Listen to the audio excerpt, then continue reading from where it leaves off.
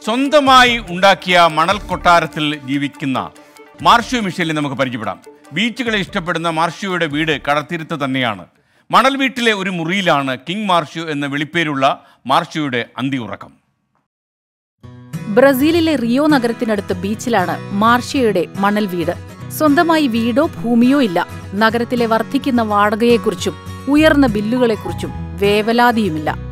നാൽപ്പത്തിയാറ് വയസ്സുകാരനാണ് മാർഷ്യോ മണൽ കൊട്ടാരം തകർന്നു പോകാതെ സൂക്ഷിക്കലാണ് മാർഷ്യോയുടെ പ്രധാന ജോലി അവിടവിടെ മണലിടിഞ്ഞ് ചിലപ്പോൾ കൊട്ടാരം ഒന്നാകെ ഇടിഞ്ഞു വീഴും വീണ്ടും ഒന്നെന്ന് തുടങ്ങണം വീട് തകരാതിരിക്കാൻ ഇടയ്ക്കിടെ വെള്ളമൊഴിക്കണം എന്നാൽ ഇതൊന്നും മാർഷ്യോയെ തളർത്തുന്നേയില്ല?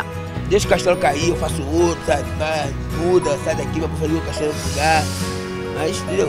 Eu gosto dessa, desse lado efêmero da coisa, para as pessoas não